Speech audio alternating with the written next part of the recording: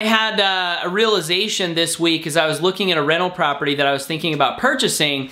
And this rental property that I was looking at, it's $43,000. Um, it's got an acre of land here in my uh, local area. And I can probably get between five and $600 a month rent from this property. And I was asking myself the question, I was asking myself, uh, what's my payback gonna be, right? How long is it gonna take me to get my money back out? To where I'm, you know, I've, I've got my investment out and now I'm in a profit.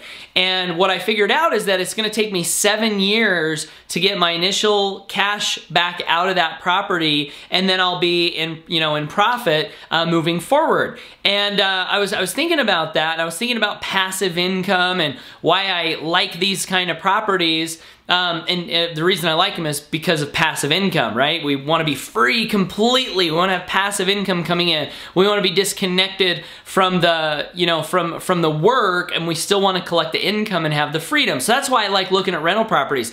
But I had a realization, and that realization was, what if I was to take that 43 grand and instead buy a property that I can fix up and flip?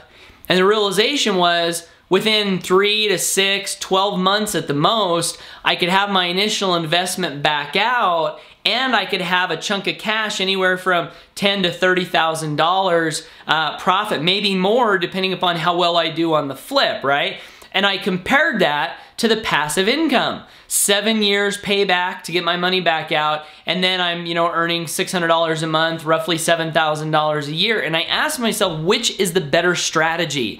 And the answer is that I came up with for myself it depends on where you're at in life. If you've got a ton of money and you just want passive income, then it might be better to just buy the rental properties. If you're wanting to accumulate faster, then it seems to me that the bigger faster profits are better because they can allow you to accumulate wealth in a shorter amount of time, which you can then use to invest in rental properties down the road.